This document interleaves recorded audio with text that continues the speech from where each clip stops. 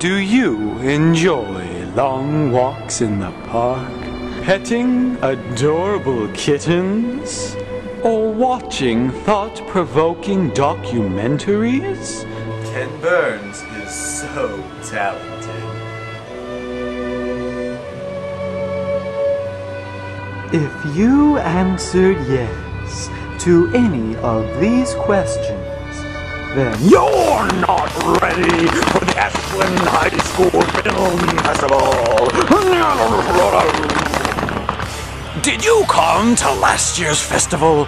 If you did, you would remember that we were in this gorgeous theater. But this year, we're in here. My point being, of course, that this room is not as big or as fancy as the theater. It's a lecture hall. Will it be as boring as a lecture? No. Do you enjoy good movies? Well, we've got concessions. What's better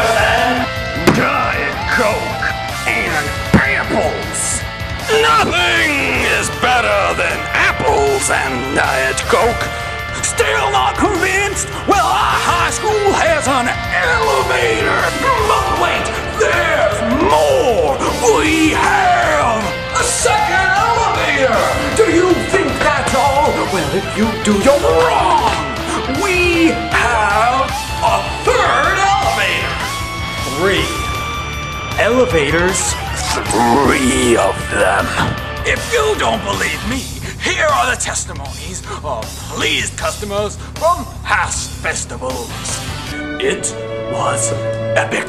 The Ashland High School Film Festival blew my mind. Epic. Oh.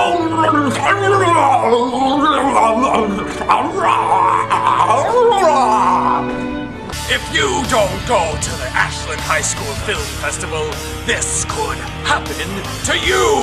Hey, did you go to the Ashland High School Film Festival? Who, me? No, I didn't. Well, you should have.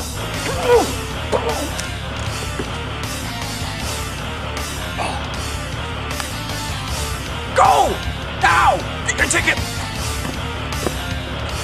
Get your tickets now, or suffer the consequences.